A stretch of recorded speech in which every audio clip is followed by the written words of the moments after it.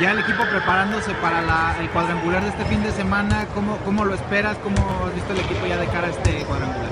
La verdad que muy contentos, yo creo que todos los juegos de pretemporada son bienvenidos para poder sumar, sirven para poder agarrar ritmo, para poder ver piezas claves, errores, cosas buenas y seguirlo trabajando día con día y llegar bien al primer juego de temporada. Oye, ya está el primer rival ¿no? de, de este cuadrangular, eh, es Panteras, me parece. Sí, vamos contra el viernes, vamos a las 8 de la noche contra Panteras. El juego antes de nosotros es Zacatecas contra Mexicali.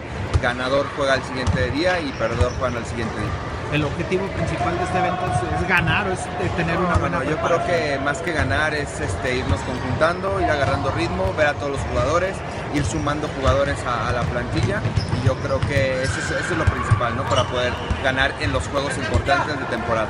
En el caso de Edgar Garibay, ya este, llega también este jugador a completar el roster, ¿no? Sí, no, trabajando, este, estamos trabajando fuerte con él para, para que se meta al equipo, se acople al equipo y podamos este, sumarlo, ¿no? Sumarlo al ritmo que ya tenemos de, de las dos semanas de pretemporada que llevamos. Yo creo que nos va a venir a ayudar mucho, tanto dentro de la cancha como fuera de la cancha. Yo creo que él es un líder y, y nos va a ayudar a, a conformar esa familia que tanto estamos hablando de ella y que queremos unir.